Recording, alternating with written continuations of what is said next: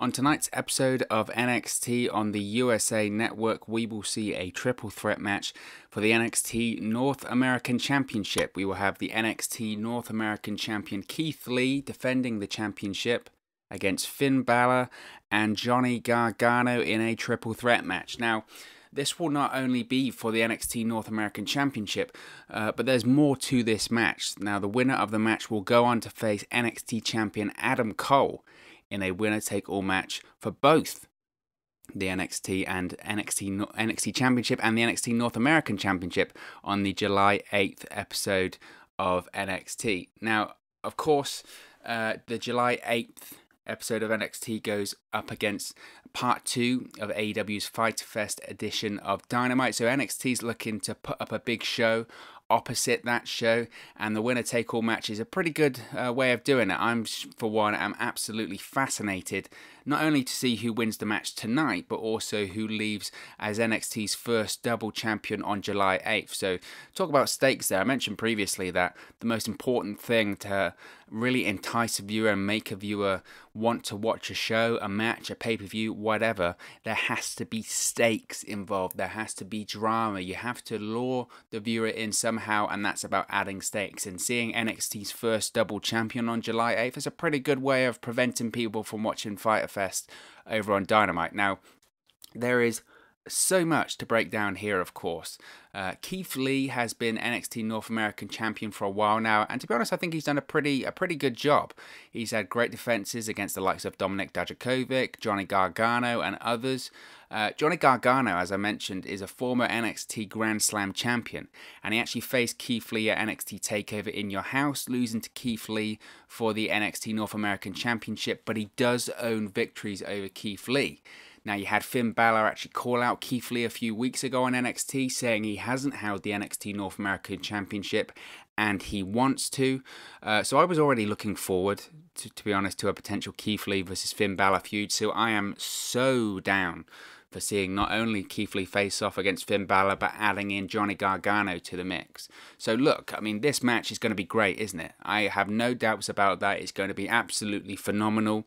Uh, it will get time. It will get a lot of time. That's the great thing about NXT and NXT matches is that these big matches, especially these title matches, regardless if they're on NXT TV or they're on NXT Takeover, whatever, NXT matches get time.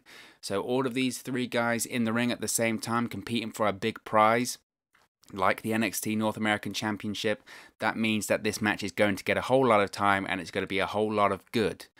Now, this NXT North American Championship match and the winner take all match on July 8th comes on the back of reports that Vince McMahon was unhappy with NXT, specifically their ratings and consistent losses to AEW Dynamite in the ratings every Wednesday or most Wednesdays. Now, this led to rumors that Vince McMahon could be getting more hands on with NXT, and those rumors certainly increased last week when we saw the likes of WWE Women's Tag Team Champions Bayley and Sasha Banks on NXT last week the winner take all match being announced for July 8th, and we even had some vomiting by Robert Stone last week on NXT 2. And a lot of people were going, that's all very Vince. Now, I don't have a problem with Bayley and Sasha Banks on NXT. I really like the concept of this winner take all match. Could do without the vomiting, but I'm not sure this is all completely Vince McMahon.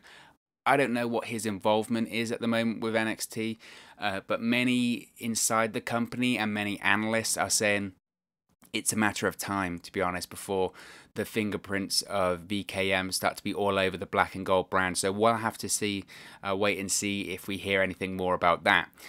As to who wins, look, there could be an argument made here for all three men getting the victory here and facing Adam Cole, right?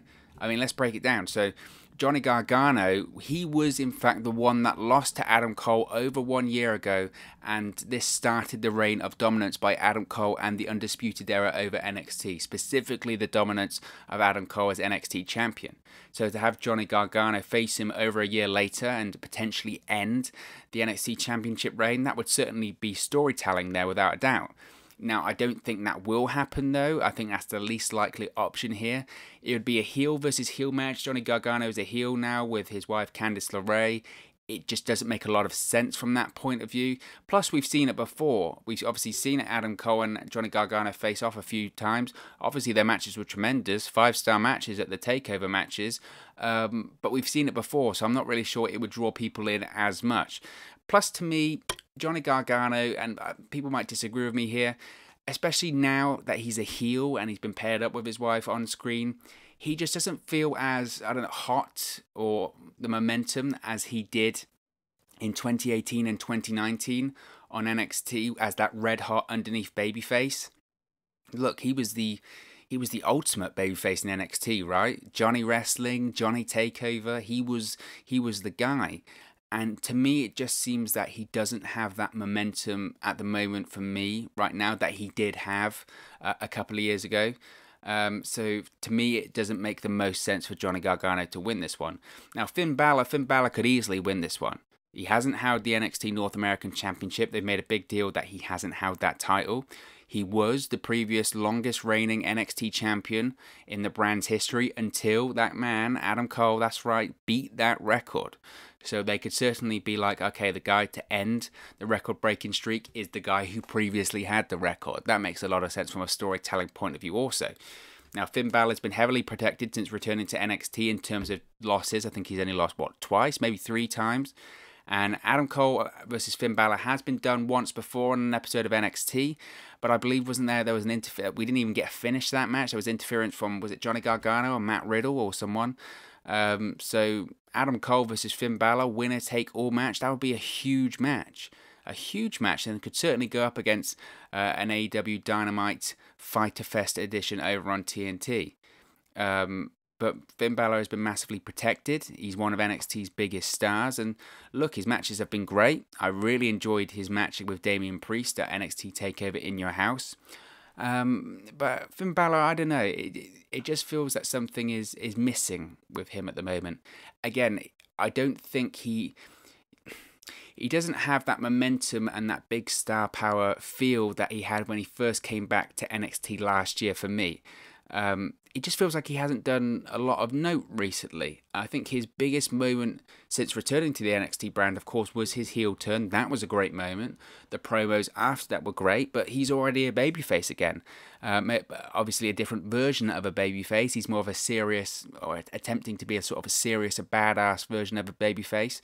But like I said, I just don't think I don't think he has that momentum that he once did uh, upon his return to NXT or his prior run in NXT also. Um, I think the big loss and the big thing that halted this momentum was not having the feud with Walter. That was obviously being set up for the NXT UK Takeover Dublin event, and he would have likely been in the main event there. He would have likely have faced him for the NXT UK Championship. Of course, that didn't happen and isn't going to happen for a long time due to the pandemic. Um, and that would have feud that, that that would have been great. That feud, that match, that moment in Dublin would have been spectacular, and maybe that would have really given Finn Balor the momentum of having that five star match in front of a rabid hometown crowd. That would have been the moment to really spark the new catalyst of Finn Balor getting to that back to that absolute megastar potential momentum in NXT. Uh, and what a moment that that that would have been, and maybe we, we still will be. Maybe we will see see it in the future without a doubt. Um, so, uh, but still, it could be Finn Balor that wins the match tonight. Um, then, of course, we have Keith Lee the current NXT North American champion. Now, as I mentioned previously, he defeated Johnny Gargano recently at NXT TakeOver in Your House. The match was fine. I didn't think it was the best match of the night, but the match was fine. I thought Johnny Gargano maybe got a little bit too much offense in on that match. I think that kind of match needs to have Keith Lee beating the hell out of Johnny Gargano. I'm interested to see how Keith Lee hooks up with Finn Balor. I think that dynamic could be really fun. Um, I mentioned how Keith Lee has had great title matches, especially against Dominik Dijakovic, but he had a good match with Johnny Gargano too. Um, but I think the main thing here is that some of his moments that he's had with Adam Cole and the Undisputed Era previously on NXT have been phenomenal. I mean, the match, the moment, sorry, that springs to mind has to be when Keith Lee pounced Adam Cole into the crowd. That still is one of my favorite moments since NXT has gone to the USA Network. That's just as a as a gif, as a as a spot, it was just great. It was great. And to me, Keith Lee is he's an absolute star. There's no doubt in my mind about the star power of Keith Lee and what he could be in WWE. He, without a doubt, he's a megastar in the making. His work in the ring is is second to none for me. Maybe he has a little bit of improvement to do on the mic and his all-round character. That's that's probably fair. Uh, but you think back to that performance against Roman Reigns at Survivor Series last year. They had the Allstate in Arena, Allstate Arena in Chicago, absolutely rocking. The confrontation this year he had with Brock Lesnar at the Royal Rumble, the pop he got when he came out during the Royal Rumble from that from that uh, stadium crowd was great. Uh, and to me, it, honestly, it's quite baffling how he's still in NXT at this point because he's got all the momentum in the world and Vince McMahon is obviously a huge fan. We heard all those reports after Survivor Series saying that Vince McMahon had instantly fallen in love with Keith Lee. And like I said, when you have moments that impressive against Roman Reigns, against Brock Lesnar, they're two of the biggest stars in WWE right now, arguably the two biggest stars in WWE right now. They're not on TV at the moment, but they're two of the biggest stars nevertheless. So to have those moments and still be in NXT is is, is a little bit surprising to me there actually. Uh, but maybe this match and the potential follow-up match with Adam Cole is a way to facilitate Keith, Lee, uh, Keith Lee's move from NXT to Raw or SmackDown. Now, personally, my prediction, I think Keith Lee wins this one. I really do. I think he wins. I think he retains. And I think he faces Adam Cole in the winner take all match on July 8th. I think that match, from a creative point of view, makes the most sense to me. I think it's a proper babyface versus heel match. Um, in terms of how does Finn Balor lose, I think maybe you have Damian Priest come out. I don't think that feud should be over. I thought the match they had at Takeover was great. I'd like to see that match again. I think Keith Lee versus Adam Cole is a proper, proper babyface versus heel match. Um, Keith Lee can have a great match with Adam Cole, do some crazy spots. Um, but I don't think, and I will say this is going to be part of my prediction uh, moving over to July 8th, I don't think the NXT North American champion will be becoming the NXT champion. I think Keith Lee wins the triple threat match tonight on NXT, but then I think Keith Lee loses the NXT North American championship to Adam Cole. Then Keith Lee can finally go to Raw or SmackDown. I think that this match, this triple threat match, and the winner take all match, the whole scenario is all about putting over one man. And that's not Keith Lee, that's not Adam Cole, that man is Karrion Kross. We know that Karrion Kross is the next feud for Adam Cole in the NXT Championship, just literally weeks after debuting on the NXT brand. He absolutely decimated Tommaso Ciampa like nobody has at NXT Takeover in your house. Nobody has squashed Tommaso Ciampa like that. That's what that match was. It was a squash match. So they've got huge plans for Karrion Kross, without a doubt. They hold him in the highest regard. He's already set for an Adam Cole showdown. We had Scarlett deliver the sand timer a few weeks ago at the end of NXT. That sand timer is still ticking. We saw Adam Cole with it last week on NXT. So I think Adam Cole wins both the NXT Championship and the NXT North American Championship in the winner take all match, but then I think he loses both to Karrion Kross, which cements this mega push that Karrion Kross is currently on. I think if you have Karrion Kross as the NXT champion and the NXT North American champion, it's very similar uh, to NXT, moving him to this sort of dominant character, Goldberg style monster of NXT in this version of the Wednesday Night Wars. Right, you had Goldberg like that in the Monday Night Wars. I think of those iconic images of him becoming the WCW World Heavyweight Champion and holding up both the WCW and the w, WCW Heavyweight Championship and the WCW United States Championship. And I think that's a similar image to what NXT could be trying to do with Karrion Kross right here. So I think that's possibly where they're going, or that's my prediction, or how I think uh, the way that NXT should go with this one.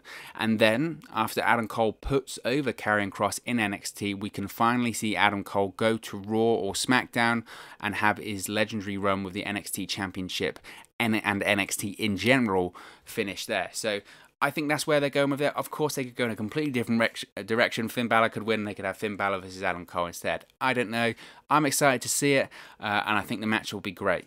Uh, but of course, this is just one man's opinion. Who do you think will come out on top of the triple threat match tonight on NXT for the NXT North American Championship. Do you think it'll be Johnny Gargano? Do you think it'll be Finn Balor? Or do you think it'll be Keith Lee?